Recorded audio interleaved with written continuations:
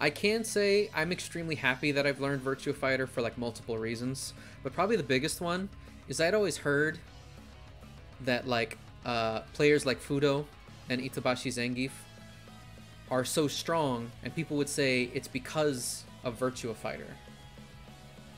And I understand exactly what they mean now. Virtua Fighter just it if when you understand the game mechanically, what it does is it forces you to make reads. You can get some hits incidentally, like you can make a read and be wrong, but it might still hit for various reasons, right?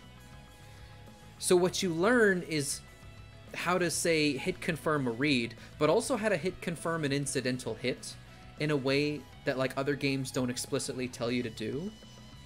And it also makes you think about situational guesses differently. Like, just think about a standard 2D fighter safe jump. You get a knockdown, you get a safe jump, and they have to block it, because if they reversal, you can punish it. Like, it feels like a pretty terrible situation. But realistically, what it is, is they're going to block your jump, and then there will be a read after that.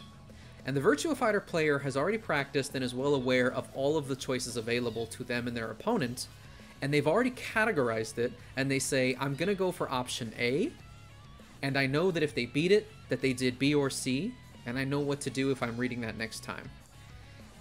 Like, you can learn that skill without playing Virtua Fighter, but Virtua Fighter just puts it upon you so directly that it becomes inseparable from your style. Your reads are your style in Virtua Fighter. And that's why it always seems amazing when we see certain players make plays in 2D fighting games. Like, how did they make that play? It's like, well, because they just sort of knew it was going to happen, is the thing. they make reads that you don't think they're capable of making specifically because they don't expect you. They don't ex- they they don't think they Oh god, I'm messing it up. They think that you won't expect it. You know? I feel like Virtua Fighter is the game that most easily teaches that lesson if you're willing to learn the game. Learning it from other fighting games is like possible, but it, it just takes longer. And the game may not actually tell you. But VF just keeps telling me that I have to do different things.